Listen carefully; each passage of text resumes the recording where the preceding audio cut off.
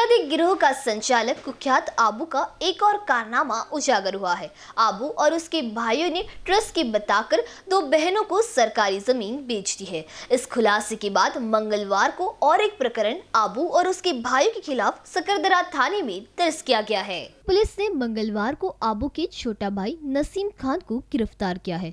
आरोप है कि बरसों पहले नसीम ने आपू की मदद से फिरदौस नामक व्यक्ति की करोड़ों रुपए की ज़मीन का कबन किया है। इस मामले में नसीम को गिरफ़्तार किया गया है। वहीं दूसरी ओर, हमारी टीम ने क्राइम के पुलिस उपायुक्त राजमाने से बात की तो उन्होंने बताया कि अपराधी आबू और फिरोज खान और उसकी गैंग ने बड़ा ताजबाग परिसर में रहने वाले अनेक लोगों की दुकानों और जमीनों पर अवैध तरीके से जबरन कब्जे किए हैं। यही कारण है कि पुलिस द्वारा नकेल कसे जाने के बाद कई लोग शिकायत करने पहुँच रहे हैं। पिछले एक सप्ताह में पुलिस ने आबू के खिलाफ पाँच मामले दर्ज किए हैं। इनमें ज़्यादातर स्थानीय नागरिकों की दुकान और ज़मीन हड़कने के मामले हैं। इस बात की जानकारी पुलिस उपायुक्त क्राइम के राजमानी इन्होंने दी। उन्होंने कहा कि आबू मामले में बड़ी संख्या में लोग आगे आ रहे हैं और जानकारी ये भी मिल रही है की आबू के लोग लोगों को शिकायत न करे, इसलिए धमका भी रहे हैं।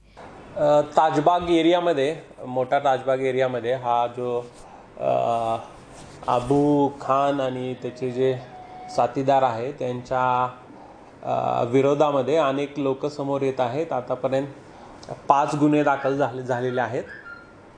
बरेच अशी माहिती येत आहे गोपनीय की हा जो अबू खान आहे आणि त्याचे जे इतर साथीदार आहेत की तक्रार देऊ नये पोलिसांच्याकडं म्हणून बऱ्याच जणांच्याकडं जात आहेत यातना करत आहेत पण मी आपल्याला आव्हान करतो की ज्यांच्यावर अन्याय झाला असेल गुन्हा केला असेल तर बिनदिक्कत आपण आमच्याकडे यावं.